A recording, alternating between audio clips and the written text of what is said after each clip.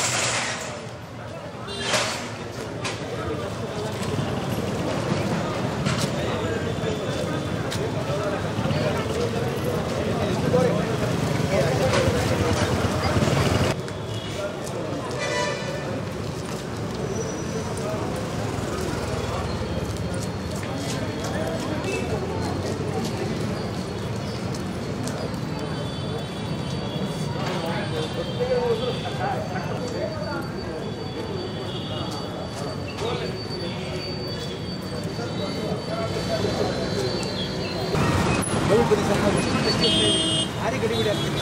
ಆಮೇಲೆ ಇವತ್ತರ ಮತ್ತೆ ತಿಳ್ಕೊಂಡು ನಮ್ಮಲ್ಲಿ ಅಪ್ಲೈ ಇತ್ತು